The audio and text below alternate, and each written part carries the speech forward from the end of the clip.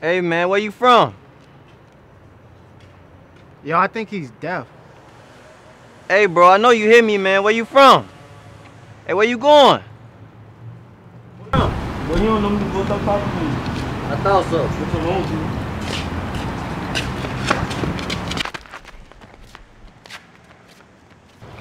Who am telling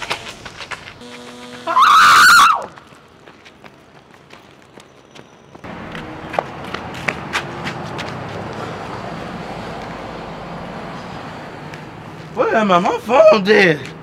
And it's off. I got a phone. Man, who's you? What you doing?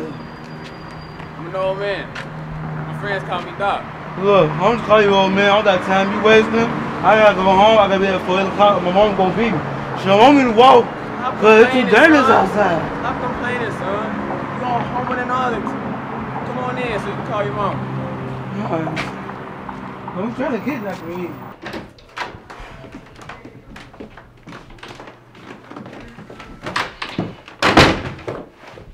what you finna tell me? Let me tell you something. This neighborhood was once safe. A long time ago when people thought Jesus died for our sins. And Jonah parted the Red Sea. Man, what is you talking about? Sometimes I don't even know. When I first moved to this neighborhood, I was a licensed doctor at Mount Sinai. This neighborhood was filled with nothing but whites. You lying. Believe it, son. Me and Ellie thought it would be cool, you know, to live next to people are gone. For the kids, of course. But, you know, things change. What you mean had to change?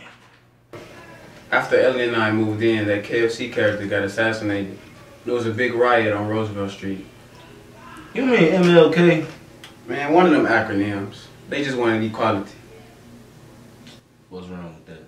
Nothing, but they were scaring my children. Have you ever been chased by a bunch of black people?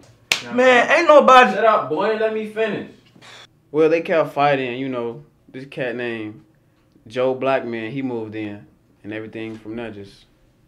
Joe Blackman, man, where my mom at, boy? You crazy. He was a meat packager. His house always smelled like meat. He ain't have enough money to, to provide for his family. And he always got harassed by white people. Man, that's crazy. Times have changed and people have changed. Yeah, I guess we diverse physically, but not mentally. Oh, look, my mom outside, she hooking that horn kind of hard. That means she mad. She don't like, she don't like I keep her wedding, so I gotta go. Oh, thank you for the clothes too. They kind of, see. but thank you. You welcome. You know, next time you come over, I might tell you the time Moses came over for lunch. All right.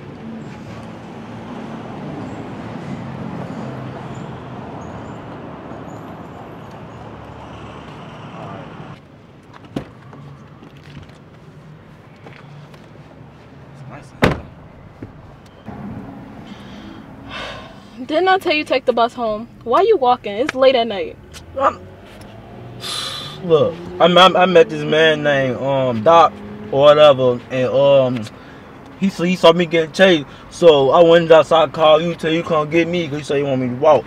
But um, but when I was in the, he talked about a man, uh, used to be an all white neighborhood or something like that. No, no. Why is you listening to old man Arnold? He has Alzheimer's, okay? He doesn't know. You I told you not to go. I told you. He he he about a man selling meat, What? and I was hungry. You know what? When we get home, just go straight to bed, okay? Go That's straight what, to see, bed. that's what I'm talking about. This one like talking to you. You don't, you don't like to listen to people. I'm telling you, I get, when I get this album locked in my room, better not say nothing else to me.